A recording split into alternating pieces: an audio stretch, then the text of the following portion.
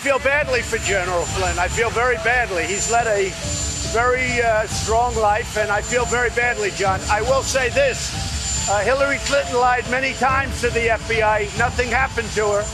Flynn lied, and they destroyed his life. I think it's a shame. Hillary Clinton, on the 4th of July weekend, went to the FBI, not under oath. It was the most incredible thing anyone's ever seen. She lied many times. Nothing happened to her. Flynn lied, and it's like they ruined his life.